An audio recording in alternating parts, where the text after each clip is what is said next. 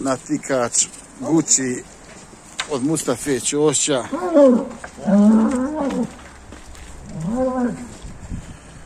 Dobar, ubi rogom. Ajmo na šograt. Nisi ga moli, hod, hod, hod. Mogući. Hod mi, hodimo. Hodi. Željan borbi, a Jes. udara koji stopa Amusta. 750 kila to pogodući. Ajmo gore. 700, Četiri godine ne mora više od četiri godine lijeva, a do četiri ide.